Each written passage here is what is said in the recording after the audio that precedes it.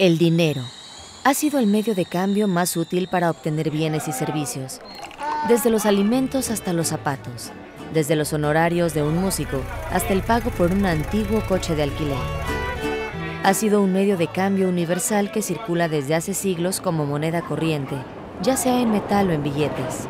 Las monedas, específicamente, son piezas metálicas, tradicionalmente circulares, que solían tener un valor determinado por el material, costoso e indeleble, con el que eran acuñadas, oro, plata, cobre y diversas aleaciones.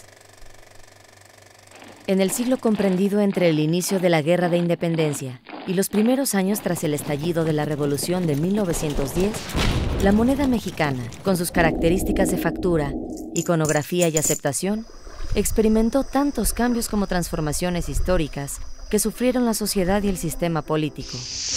Hagamos un interesante viaje a lo largo de 100 años de circulación de monedas y billetes en México. El dinero en México de la independencia a la revolución.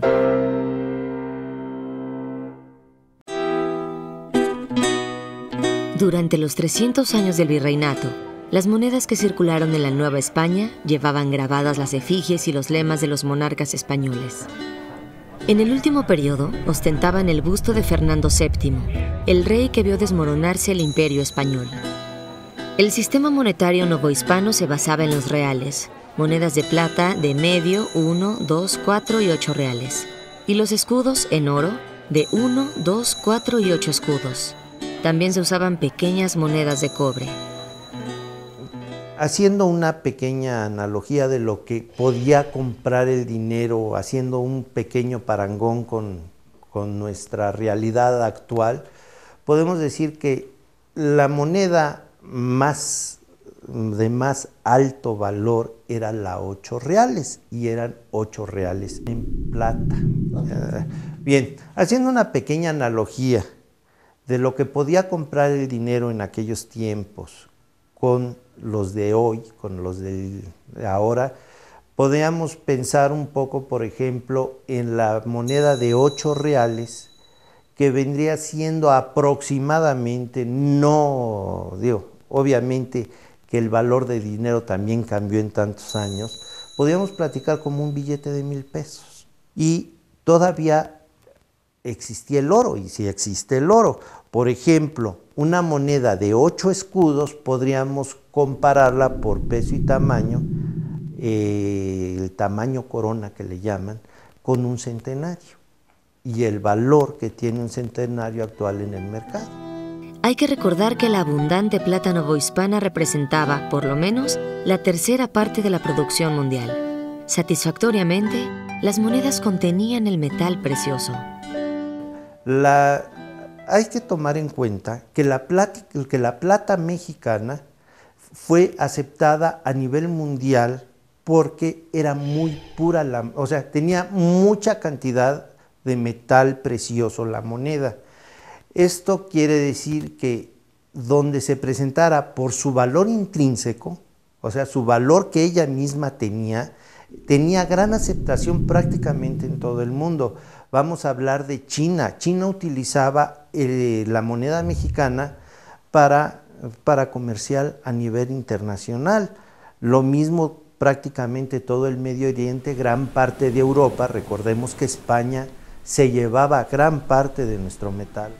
Hacia comienzos del siglo XIX, se dieron las condiciones para que México iniciara un proceso trascendental, su independencia de España. La guerra estalló en septiembre de 1810. Poco después, gran parte del territorio entraba en rebelión. La situación económica se hizo muy crítica para todos. Hacia comienzos del siglo XIX, se dieron las condiciones para que México iniciara un proceso trascendental, su independencia de España. La guerra estalló en septiembre de 1810. Poco después, gran parte del territorio entraba en rebelión. La situación económica se hizo muy crítica para todos. La numerosa población pobre soportó que se grabaran artículos de primera necesidad, pero la administración virreinal también exigió préstamos del clero, los propietarios y los comerciantes ricos. Se embargaban vajillas de plata y de oro, y caballos que pudieran caer en manos de los rebeldes. Grandes capitales salieron del país, Quienes las tenían guardaban y atesoraban las monedas. Ambos bandos, realistas e insurgentes, tenían necesidad de dinero acuñado para sufragar sus respectivos gastos.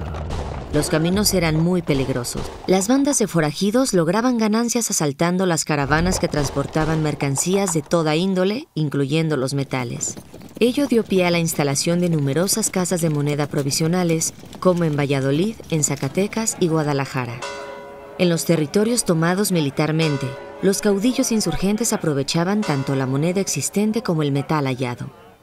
Bueno, eh, cuando tomaban una plaza y encontraban lingotes, metal, barra, ya fuera en barra, ya fuera en lingote, eh, era un gran botín. Recordemos que en la guerra no hay nada barato ni nada fácil. Entonces era muy necesario para comprar pertrechos de guerra, eh, para pagar a las tropas.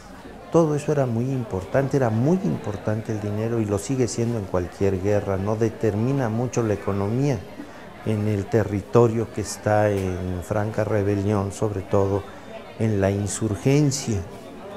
¿Por qué? Porque implicaba que dejara de salir el metal que tenía un valor, que dejara de salir del territorio y el amonedar empezaba a circular dentro de los territorios ocupados por los, por los insurgentes. Entonces, era bien aceptada inclusive aunque trajera el busto de Fernando VII y ellos para, para controlar su territorio, porque también para eso servía la moneda, le ponían un distintivo, la resellaban, se llama un resello una marca que le hacían con un punzón, con un cincelito, con, con una figura específica para darle su sello que, circulaba en su territorio y que había pertenecido también a tal facción insurgente.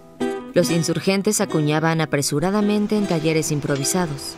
Históricamente son representativas las monedas de José María Morelos, Tenía un arco con flecha y la palabra Sud, en alusión a su área de acción sureña.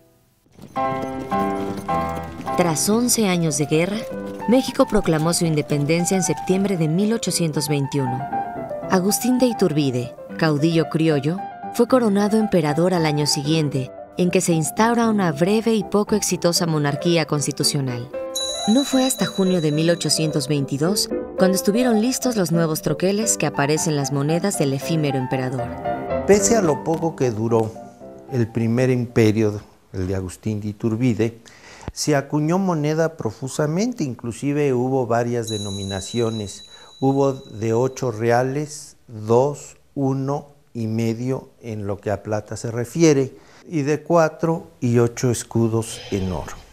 Bien y circularon, se acuñaron de manera regular y trasciende mucho porque aparece el águila en el reverso y el busto del emperador en el anverso, obviamente la fecha y el águila, el águila es un águila coronada porque era un águila imperial, el, símbolo del primer imperio. Eran las primeras monedas de curso legal en el México independiente todas acuñadas en la Casa de Moneda de la Ciudad de México. Antes de su caída, el imperio, siempre en penuria económica, recurrió a algo novedoso en el país, el papel moneda. Estos billetes de 1, 2 y 10 pesos eran muy simples y de sencilla falsificación.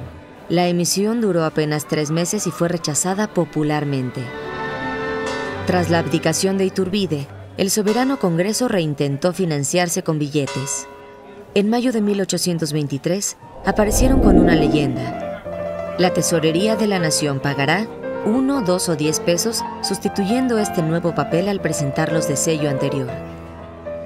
En mayo de 1823 se toma la decisión de volver a sacar a la circulación billetes, pero ahora impresos en bulas papales caducas. Generalmente eran de dos reales platas las bulas papales pero imprimieron estos billetes en su reverso por varias situaciones. Una de ellas para evitar la falsificación, ya que el billete de Iturbide era muy sencillo y podía ser muy fácilmente falsificable. Pero también se buscaba mucho en el fondo que el pueblo católico, que era la gran mayoría en aquel momento, el pueblo católico de México, tuviera aceptación en el papel moneda. Desgraciadamente no se dio, de nueva cuenta la segunda emisión de billete mexicano también fue un verdadero fracaso. A partir de 1824, México inicia su historia como república. El régimen federalista y el centralista se alternaron en las siguientes décadas. Desde el principio, la República adoptó como escudo el águila posada sobre un opal con una serpiente apresada en el pico, el símbolo prehispánico de la fundación de Tenochtitlan. Se crearon diferentes diseños numismáticos de esta imagen, con el águila de frente o de perfil, y las leyendas cambiaron del latín al español. En el reverso llevaban un gorro frigio, símbolo de libertad heredado de la Revolución Francesa, sobre un haz de rayos resplandecientes. Se les conoce como monedas resplandor, pero no era cosa de desperdiciar dinero. Los reales antiguos siguieron circulando junto con las monedas republicanas. Ambas tenían la misma confianza entre la población. Recordemos que las monedas valían intrínsecamente por el material con que estaban hechas, un valor real y duradero. Así, la palabra ley se refiere al grado de pureza del metal que contiene una moneda. Voy a explicar. Ahora la moneda no vale por el metal que tenga, ni por lo que valga intrínsecamente.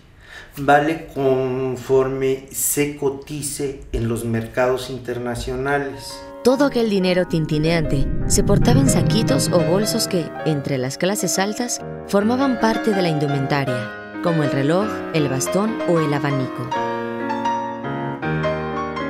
El siglo XIX fue para México, joven nación independiente, un periodo lleno de dificultades políticas y sociales. A las constantes luchas intestinas por el poder se añadieron las intervenciones militares norteamericana y francesa. Con el apoyo de un grupo de conservadores mexicanos, Francia impuso a Maximiliano de Habsburgo como emperador de México en 1864, abandonándolo a su destino poco después. Durante este llamado Segundo Imperio aparecieron monedas de plata y de oro con el perfil de Maximiliano y su escudo en el anverso. También un cambio importante. Se estableció definitivamente el sistema decimal. Adopta como moneda de curso legal el peso y sus divisiones en centavos. Por eso se le llama decimal. Decimal porque la unidad, aunque sea 100 centavos el peso, eh, se va dividiendo de, de 10 en 10 a excepción del centavo. Inclusive eh, hubo monedas de un centavo, dos centavos, cinco centavos, 10 centavos, 20 centavos, 25 centavos conocidos coloquialmente como pesetas, 50 centavos y la unidad que es el peso. La moneda que oficialmente tiene que utilizarse y aceptarse en el territorio nacional.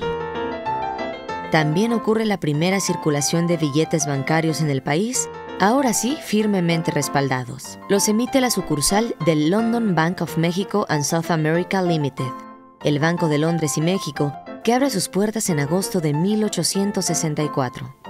Recordemos que el billete es un instrumento de pago fiduciario es un instrumento que va a ser recibido por, la, por el respaldo que tenga la institución que lo emite.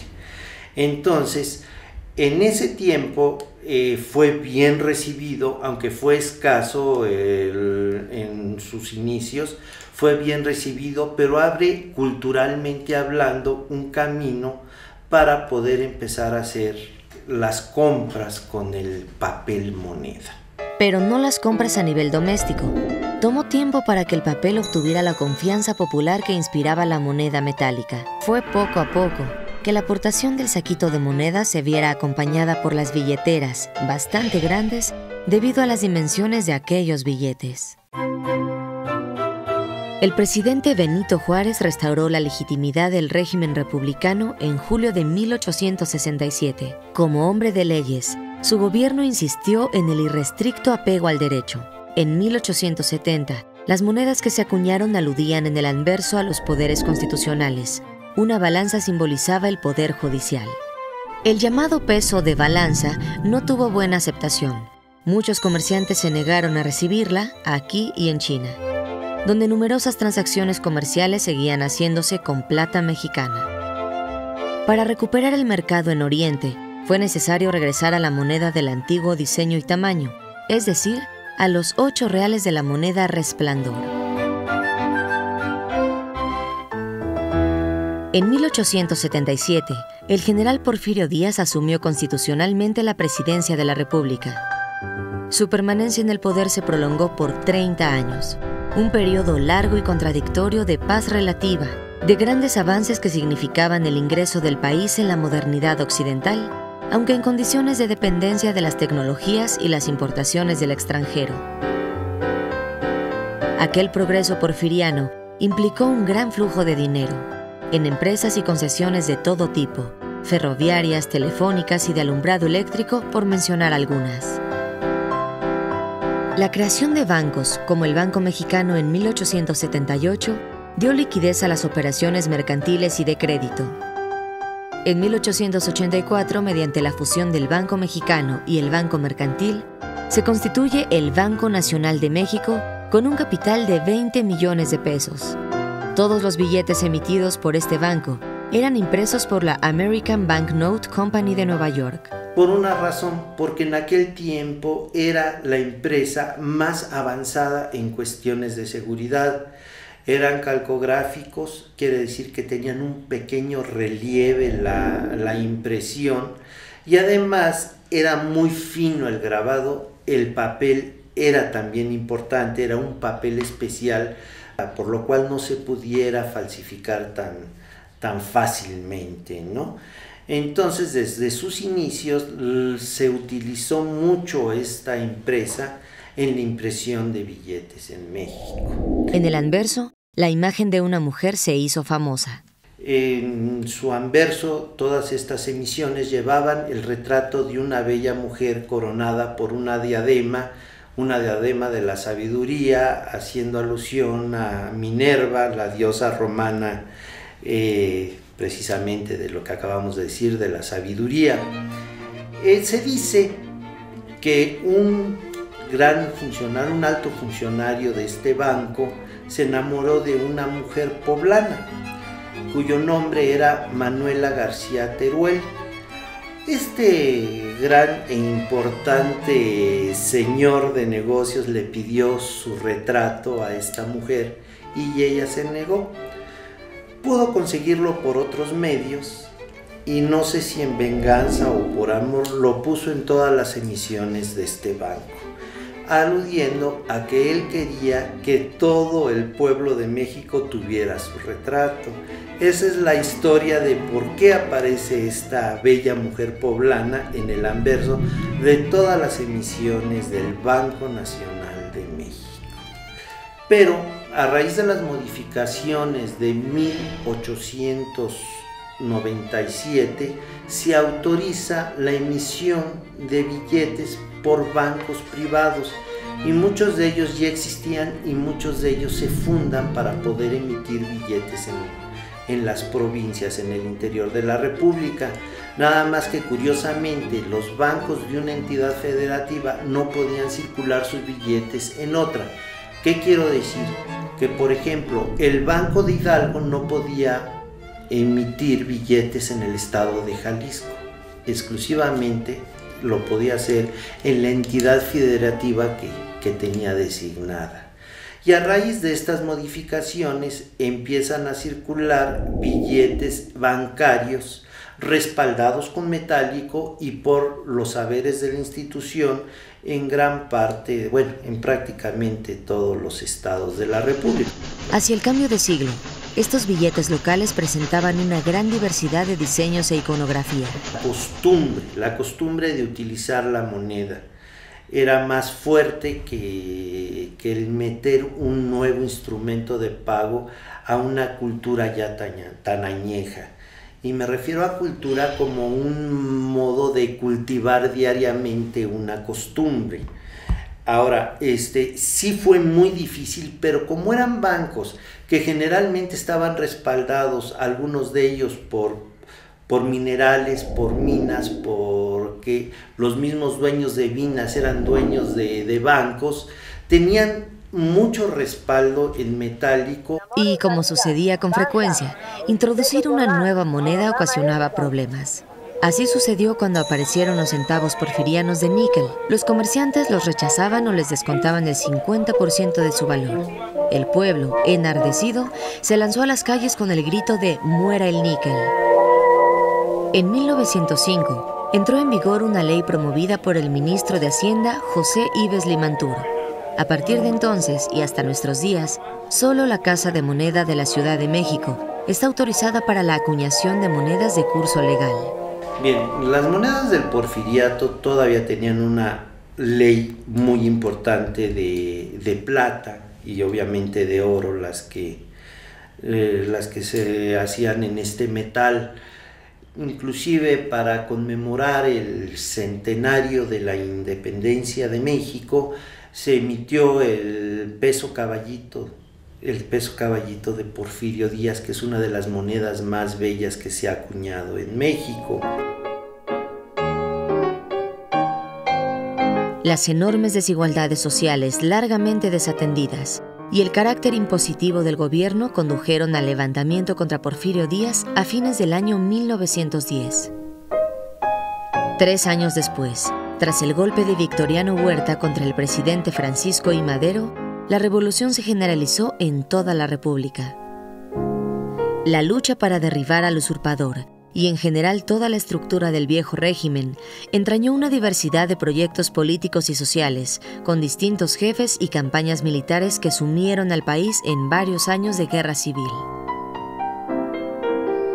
Ante la imposibilidad de seguir una regulación, la emisión y la circulación de dinero se convirtió en un verdadero caos. Con una imparable escalada de inflación y devaluaciones constantes, el mercado monetario se desquició. A Venustiano Carranza se debe la primera emisión de billetes revolucionarios en 1913. Conocido como el papel de Monclova por los historiadores, el pueblo los llamaba lechugones por su colorido verde en el anverso. Esta emisión se convirtió en un préstamo forzoso para el país. Se decretó pena de cárcel para quien la rechazara. Siguieron un sinfín de emisiones de los gobiernos estatales controlados por el ejército constitucionalista. El país se vio prácticamente inundado de papel moneda sin valor.